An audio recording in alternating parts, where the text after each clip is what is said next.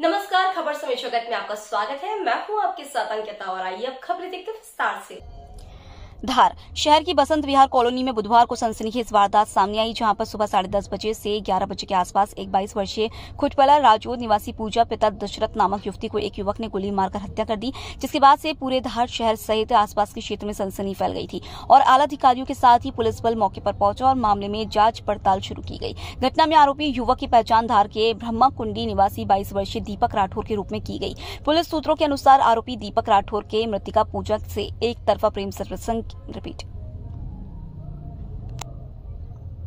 Police सूत्रों के अनुसार आरोपी दीपक राठौर की मृतिका पूजा से एक तरफा प्रेम प्रसंग की बात सामने आई है और लड़की की कहीं और सगाई भी हो चुकी थी और इनके पारिवारिक विवाद भी 2020 से चल रहे थे। ऐसे में लड़की ने आरोपी युवक दीपक के खिलाफ थाने में रिपोर्ट भी दर्ज कराई थी।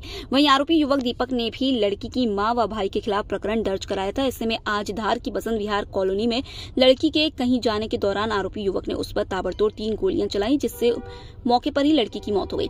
जिसके बाद पुलिस ने कार्रवाई करते हुए आरोपी युवक की तलाश शुरू कर दी है। इधर नगर पालिका आमला आरोपी युवक दीपक के घर को जमींदोज करने ब्रह्माकुंडी पहुँचा, जहाँ आरोपी युवक का घर का सामान बाहर निकालकर उसके घर को तोड़ दिया गया। इस कार्रवाई के दौरान बड़ी संख्या में पुलिस प्रशासन की टीम के साथ ही नगर पालिका अमला भी मौजूद रहा। वहीं एडिशनल एसपी देवेंद्र पाटीदार ने जानकारी देते हुए बताया कि आरोपी की लगातार चार टीमें तलाश कर रही है और गिरफ्तारी के प्रयास किए जा रहे हैं। वहीं इस मामले को गंभीरता से लेते हुए जिला पुलिस अधीक्षक मनोज कुमार सिंह ने आरोपी की जल्द गिरफ्तारी के लिए दस हज़ार का इनाम भी घोषित किया है और आरोपी की जल्द गिरफ़्तार के प्रयास किए जा रहे हैं।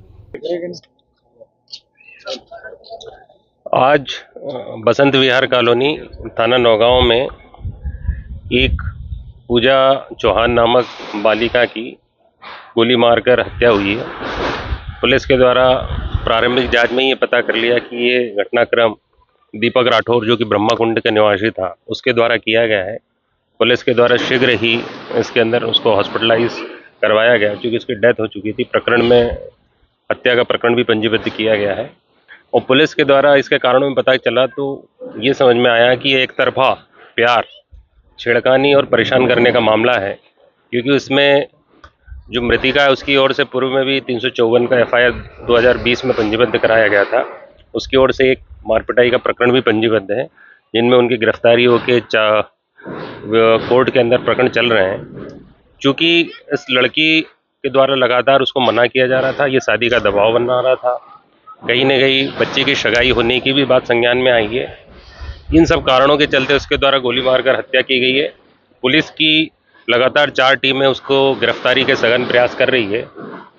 इस घटनाक्रम को देखते हुए पुलिस अधीक्षक धार के द्वारा दस हज़ार का इनाम भी घोषित किया गया है। आरोपी की अवैध संपत्तियों का भी पता किया जा रहा है। नगर पालिका के माध्यम से उसके अवैध अतिक्रमणों के ऊपर प्रशासन के माध्यम से, पुलिस के माध्यम से अवैध अतिक्रमण की कार्रवाई ध्वस्त कर करने की कार्रवाई जारी भी है, क्योंकि बहुत ही गंभीर किस्म का प्रकरण है। इस प्रकरण में गिरफ्तारी के लिए लगातार टीमें लगी हुई, शीघ्र ही इसकी गिरफ्तारी कर ली जाएगी। और ये जितने भी ऐसे प्रकरण के अंदर और भी इसको किसी ने प्रश्रय दिया तो उन पर भी कार्रवाई की जाएगी।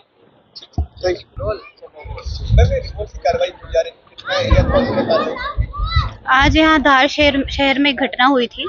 घटना के मुख्य आरोपी का यहाँ ब्रह्मा कुंडी पर स्थित शासकीय भूमि पर अवैध रूप से निर्मित मकान है जिसको अभी राजस्व नगर पालिका एवं पुलिस द्वारा संयुक्त रूप से कार्यवाही कर जेसीबी द्वारा तोड़ा गया है। इसका लगभग एरिया 800 वर्ग फीट है।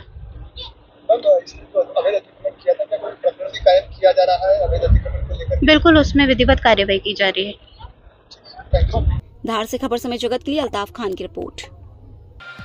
For latest news subscribe to our channel